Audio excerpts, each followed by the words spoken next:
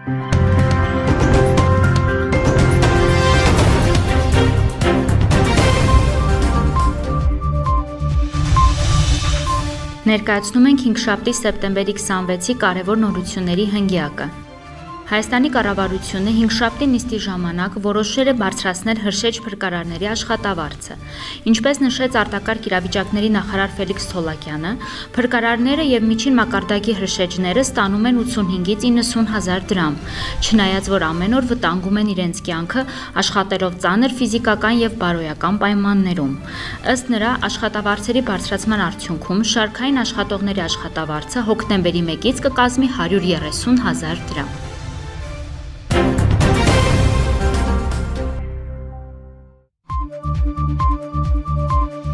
Թայլանդի Պատայա քաղաքում անցկացվող ծանրամարտի աշխարհի առաջնությունում այսօր Հայաստանը ներկայացրել է աշխարհի գործող չեմպիոն Սիմոն Մարտիրոսյանը։ Նա առաջին մոտենցմամբ նախնական պատվիրել է 190 կիլոգրամ,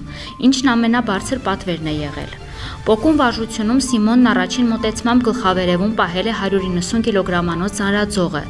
իսկ արդեն երկրորդ մոտեցմամբ բարձրացրել է 195 կիլոգրամ, երրորդ մոտեցման ժամանակ 199 կիլոգրամ, սահմանելով աշխարհի ռեկորդ։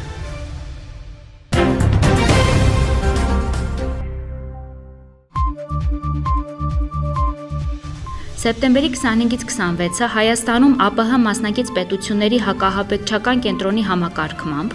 Հայաստանի ազգային անվտանգության ծառայությունն անցկացրել է ԱՊՀ մասնակից պետությունների անվտանգության մարմինների եւ հատուկ ծառայությունների հակահապեկչական ստորաբաժանումների ղեկավար կազմի հավաքը եւ ԱՊՀ մասնակից պետությունների իրավասու մարմինների Արարատ անտիտերոր 2019 համատեղ հակահապեկչական վարժանքը։ Վարժանքի ժամանակ վառելիքաէներգետիկ համալիրի օբյեկտներում ահաբեկչական գործողությունների նախապատրաստման նախանշանների հայտնաբերման ուղղությամբ համաձայնեցված օպերատիվ հետախուզական միջոցառումների անցկացման ընթացքում մշակվել են համագործակցության երկրների իրավասու մարմինների փոխգործակցության ալգորիթմերը։ Բացահայտվել է ԱՊՀ մի շարք պետությունների տարածքում գործող քողարկված ահաբեկչական ցանցը։ Արարատ անտիտերոր 2019 վարժանքի արդյունքներով Հայաստանի ազգային անվտանգության ծառայության եւ ԱՊՀ մասնակից պետությունների հակահաբեկչական կենտրոնի ղեկավարությունը դրական է գնահատել բոլոր ներգրաված ստորաբաժանումների գործողությունները։ Վարժանքի նպատակներն իրագործվել են։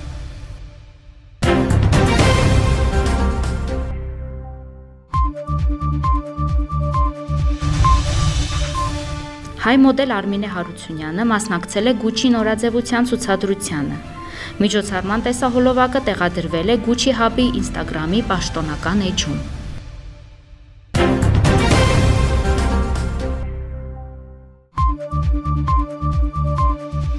Սեպտեմբերի 5-ին Երևանի Թումանյան փողոցի շենքերից մեկի 6-րդ հարկից ընկած 2.5 տարեկան Արվինն առողջացած դուրս է գրվել Սուրբ Աստվածամայր բժշկական կենտրոնից։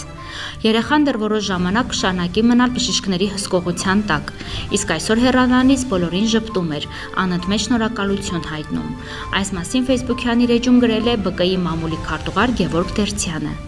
Հիշեցնենք, որ սեպտեմբերի 5-ին ժամը 10:32-ին Երևանի Թումանյան փողոցի շենքերից մեկի 6-րդ հարկից 2.5 տարեկան երեխա էր ընկել։ Փոքրիկն անգիտակից վիճակով տեղափոխվել էր Սուրբ Աստվածամայր բժշկական կենտրոնի վերակենդանացման բաժանմունք։